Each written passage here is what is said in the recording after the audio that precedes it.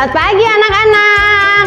Ketemu lagi dengan Miss Alin dalam Library Time. Hari ini Miss Alin akan membacakan satu buah buku cerita lagi. Buku cerita ini bagus loh karena lewat buku cerita kita akan mendapatkan banyak pengetahuan. Tapi untuk anak-anak yang sudah bisa membaca lebih banyak, membaca lebih baik, anak-anak juga boleh mulai membaca buku-buku pengetahuan supaya pengetahuan anak-anak semakin bertambah lagi. Nah, hari ini Miss Alin akan bercerita tentang satu ekor binatang. Binatang ini mempunyai empat kaki. Binatang ini bersuara seperti ini. Kuk kuk kuk kuk. Binatang apakah itu? Betul, binatang anjing. Nah, hari ini buku ceritanya berjudul Dogi Ceria Lagi. Apa ya yang terjadi dengan Dogi? Hmm, kita baca sama-sama yuk buku ceritanya. Judul buku ini Dogi Ceria Lagi. Ceritanya dibuat oleh Wulan Mulya Pratiwi. Ilustrasinya dibuat oleh Inner Child Studio. Dogi anak anjing yang ceria. Ia senang bermain dan bercanda. Setiap hari, Dogi senang bermain bola atau bermain dengan binatang lain yang melintas di depan rumahnya. Wah, ada kupu-kupu. Ayo, main denganku. Kalau begitu, coba kejar aku. Oke, aku akan mengejarmu. Dogi terus berlari mengejar kupu-kupu sampai ia lupa waktu. Ah, di mana aku? Ketika tersadar, Dogi sudah berada di tempat yang tidak ia kenal. Gawat, aku tersesat dan tidak tahu jalan pulang. Oh, Dogi yang malang. Aku lapar. Boleh minta makan? Namun sayang, orang-orang tidak ada yang memedulikan Dogi. Lihat, ada anjing liar. Ayo kita kejar. Dogi takut sekali. Ia tidak mau disakiti. Malam ini aku menumpang tidur di sini. Semoga besok aku bisa pulang kembali. Siang harinya, Dogi yang malang dan kelaparan berteduh di bawah pohon beringin besar.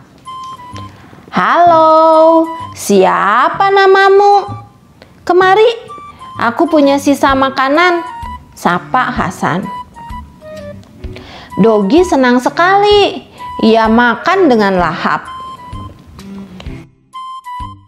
Kamu tidak punya rumah? Apa kamu tersesat dan sendirian? Kalau begitu, ayo pulang denganku. Anjing siapa itu? Bapak penjaga merasa heran. Ia anjing liar yang tersesat di jalan. Mulai sekarang, ia akan tinggal bersamaku di apartemen, jawab Hasan. Dilarang memelihara hewan di apartemen ini. Anjing ini sendirian. Apakah Bapak tidak kasihan? Boleh ya, aku tinggal di sini. Kamu lucu sekali. Bagaimana kalau kamu membantuku berjaga di sini? Aku akan menjadi anjing penjaga Aku akan bekerja dengan siaga. Nah, Dogi, mulai sekarang aku akan sering bermain bersamamu. Penjaga apartemen dan Hasan merawat dan melatih Dogi dengan baik. Dogi pun ceria lagi. Kini Dogi telah punya rumah dan teman-teman baru. Ia sangat bahagia. Terima kasih sahabat karena telah menyayangiku. Tips merawat anjing. Senangnya memelihara anjing. Ia bisa menjadi teman kecilmu. Kamu pun bisa bermain dengannya. Tapi, tahukah kamu, agar anjingmu sehat dan lincah, ada beberapa hal yang harus kamu perhatikan. Satu, beri makanan bergizi khusus anjing dua kali sehari. Dua, jangan lupa beri cemilan sekitar pukul 9 sampai 10 pagi dan pukul 3 sampai 4 sore. Misalnya biskuit anjing. Tiga, anak anjing harus divaksin. Jangan lupa untuk memberinya obat cacing. Empat, mandikan anjingmu dengan sampo khusus anjing. Minimal 2-3 bulan sekali. Lima, anjing suka bermain dan berolahraga. Jangan lupa untuk mengajaknya berjalan-jalan dan bermain setiap hari. 6. Periksakan kesehatan anjingmu secara berkala ke dokter hewan. Apa saja yang kamu butuhkan saat memelihara anjing? Tempat makan dan minum, tempat tidur, kandang jinjing, mainan, kalung leher dan tali kekang, sisir anjing, sekop untuk mengangkat kotoran. Pesan untuk sahabat. Hai sahabat, anjing dan hewan lainnya tidaklah jahat. Jangan sakiti dan lukai mereka.